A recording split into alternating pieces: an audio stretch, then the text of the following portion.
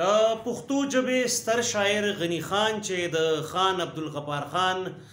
چې د باچا خان په نوم پیژندې شي دا غزوی وو خو د دغه د زوی نه زیات د د تعارف لوی وجه چې د نو هغه د د شاعری ده د د مصوری ده او د لیونی فلسفي په نوم باندې هم پیژندل کیږي د کم تعارف محتاج نه دی په پښتنو په جدید شاعرانو کې کچا ډیر زیات نوم پیدا کړی دی نو هغه غنی خان دی د غني خان د ژوند ډېر اړخونه هغه را برسېره دي، هغه خلکو ته معلوم دي او ورباندې خبرې کېږي او یوه خبره، یوه غلط فهمي چې هغه د غني خان د زوی فریدون خان باره کې ده، هغه لږه کلیر کول غواړم او ما د مختلف سورسز نه کراس وریفای کړي ده، یعنې تصدیق ته رسولي ده، د هغې وروسته یې سره شریکوم. غلط فهمي دا ده چې د غني خان زوی فریدون خان یو زمیدار په بیلچه والی و او ټکی مړ و په هغه وخت. او بیا غنی خان هغه زمیدار معاف کړی وو یعنی بدل یې نه واغسته اوس دا خبره حقیقت ده هم او حقیقت نه هم ده حقیقت دا دی چې غنی خان لومبه خو راځم د غنی خان واده ته دغه زامنو ته او دغه لونو اړخته غنی خان په 1933 کې په بمبئي کې په یوه پارسي مذهبه چې بنیادي طور د هغې تعلق د پارسي مذهب سره و په انیس سو چونتیس کې بخښنه غواړم په انیس سو چونتیس کې په بمبئي کې دی اوسېده او هلته د ده محبت وشو د یو فارسي مذهبه یا په پارسي خاندان کې پیدا شوې یوې جینۍ سره چې روشن نومېده او د دې دواړو واده بیا څلور پنځه کاله بعد په کال نولس سوه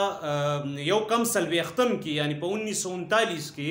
بیا د دې واده وشو یعنی په 34 کې د دې دوانو عشق وشو 15 کاله بعد بیا د دې واده وشو ظاهر خبره ده چې روشن بیا د فارسی مذهب نه مسلمان مذهب تراله یا مسلمان شو بیا د دین د غنی خان درې بچیان پیدا شو دوا لونه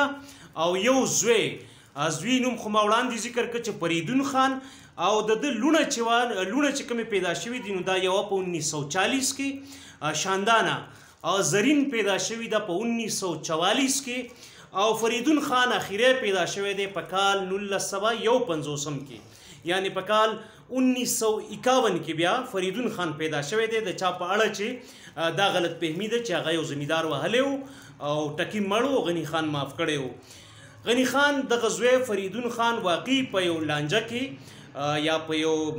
شخړه کې یا د تکرار په نتیجه کې زمیدار په بیلچه وهلی و، خو د دغه د لاسه فریدون خان مړ نه و، البته دی نیم پیرالایز شوی و،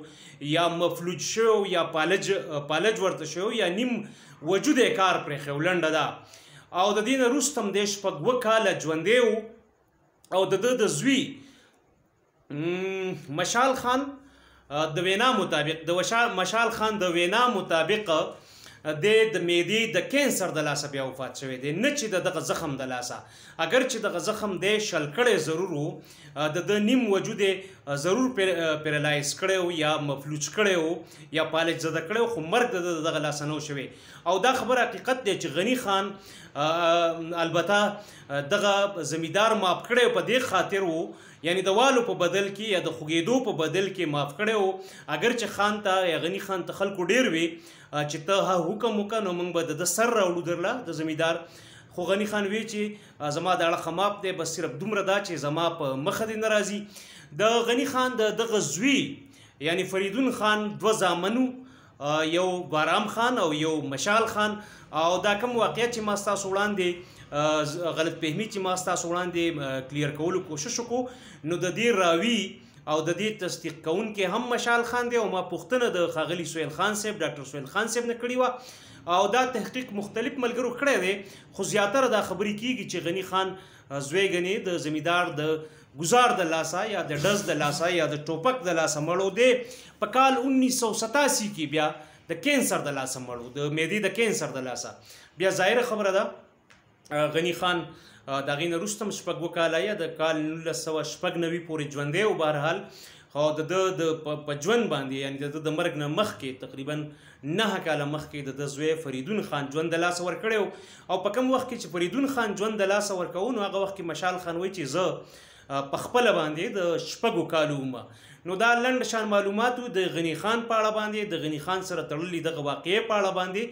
چې ما غوښتل تاسو ټول ملګرو سره شریک کم که تاسو بیا وړاندې شریک کړه نو دا به تاسو مننه او ضروری به چې زیاتو ملګرو ته دغه پیغام او دغه خبره ورسي او دغه غلط فهمي ازاله وشي د ټولو کور ودان.